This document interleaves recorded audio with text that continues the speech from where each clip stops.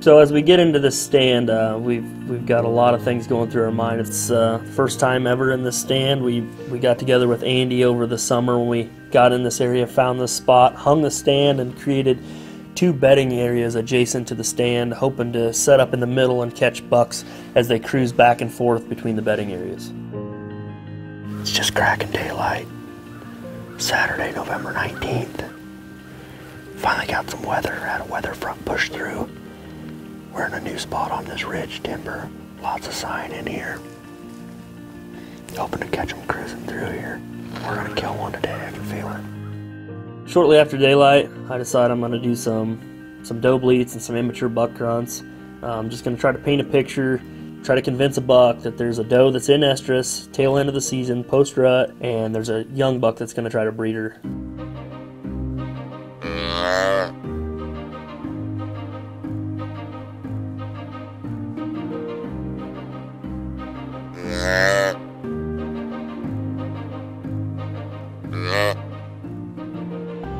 Want to try to convey some emotion and kind of put yourself in that position. Really paint the picture with how you're inf- putting inflection on the call and the emotion that you're using.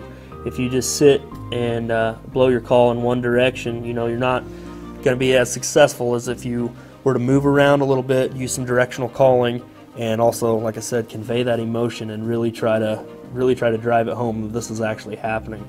And what I like to do um, with the extinguisher is I'll I'll really work on that tube on the throat tube and I'll aim at different directions but if you use two hands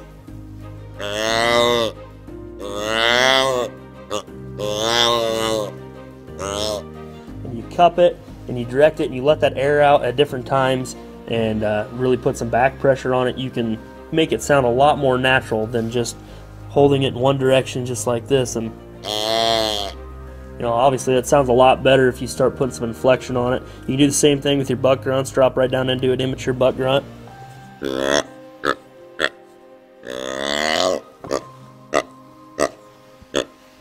Really make it seem like that doe is running and that buck is following right behind her just to make it all that much more real.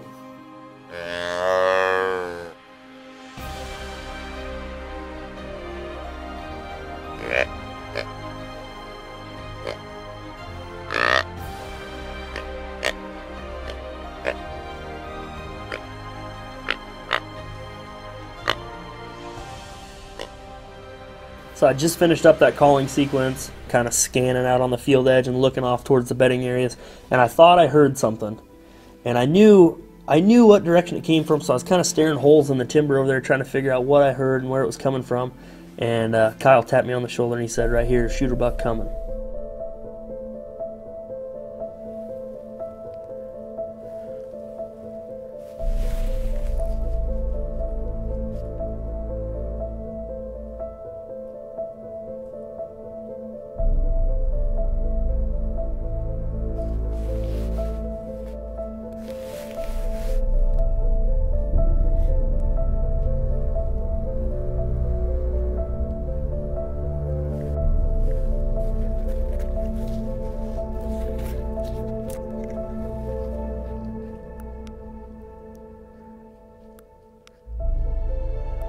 He's doing exactly what we wanted him to do.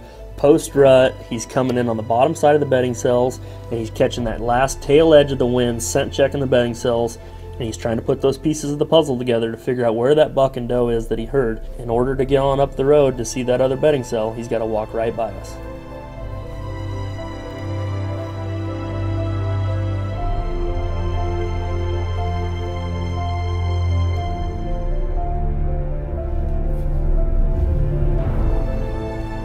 My adrenaline's through the roof, my heart's just pounding in my chest, and I'm just so excited that I'm finally going to get a shot at a buck.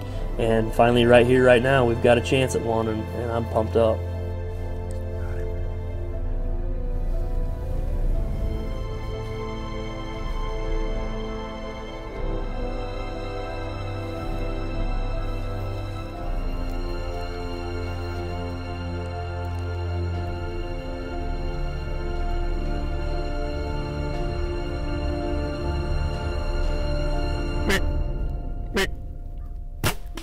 And instantly I knew that I held a little too high on him and uh, put another arrow in him and, and got him finished off as quick as I could.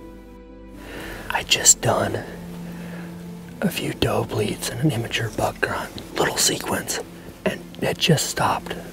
And all of a sudden I hear something behind us. Look, here comes this buck. To hear them doe bleats. He come right up this levee just like they're supposed to do. It's 7:15 in the morning. We've been it's been daylight for half an hour. First half hour ever in this tree. That's right. Virgin set. Just incredible. Couldn't can't believe how it worked out.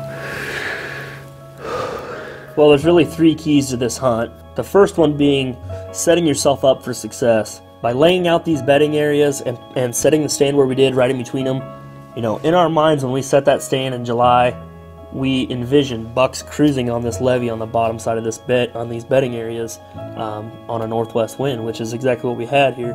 The second key to this hunt was that it was the first time we'd ever sat in this stand. No one had been in this area since probably July when we set the stand. Um, a lot of times, those first time sits can be deadly because there's been no pressure on there, there's no human scent, and they just flat out don't know you're there. The third key to the hunt is uh, directional calling and realistic calling. You know, having a good realistic call like the extinguisher um, and, and putting those emotions in there, like I mentioned before, being able to take that throat tube and, and aim at different directions and using a that in a combination with your hands and, and just really putting some inflection and emotion in the calls.